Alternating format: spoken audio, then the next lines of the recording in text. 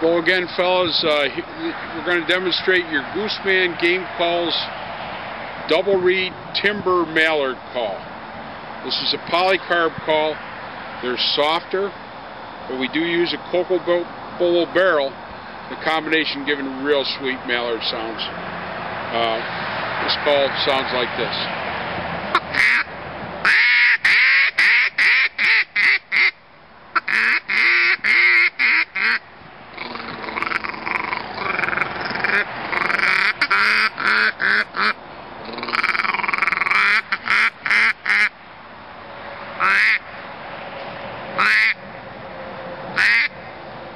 Thanks for listening. Stay safe in the field, fellas.